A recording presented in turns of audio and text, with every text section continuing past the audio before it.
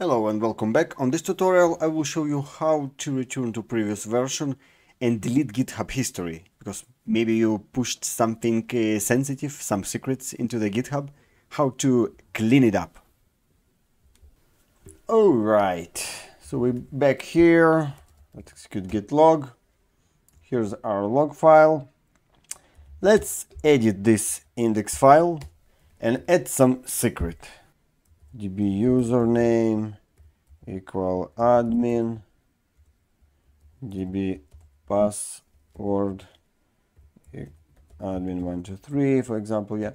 So i'm placing some sensitive information to my file.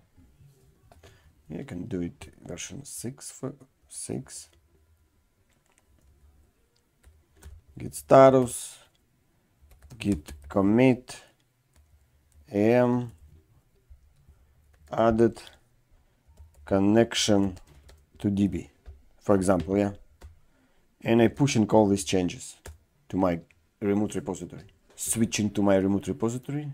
This is my remote repository. Let's refresh it. So here's my file. Here's my sensitive information. I mistakenly edited there. In total, I have six commits.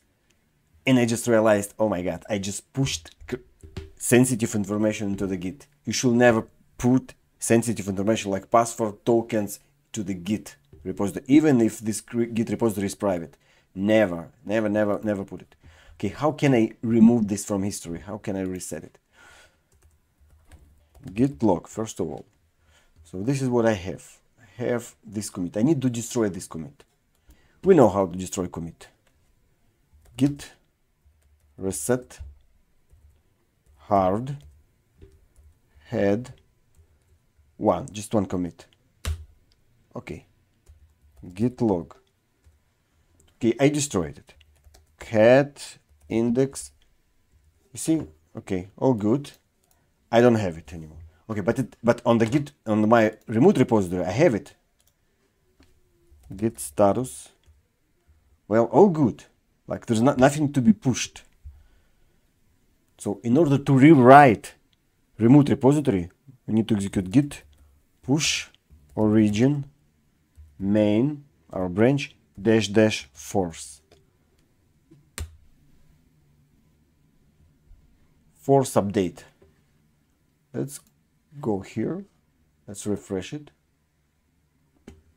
Okay you see? Version 5 and version 5 we basically came back to version 5 there's no password here and if I will click commit, I don't even see this commit here. That's all. We just deleted history.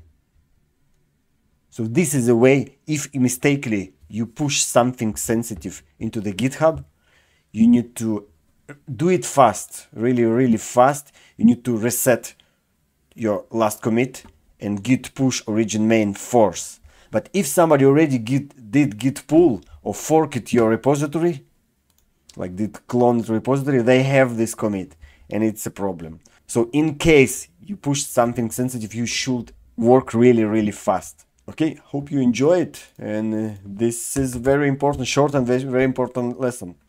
And some commands we used today, git reset dash dash hard head and number of uh, commits you want to destroy.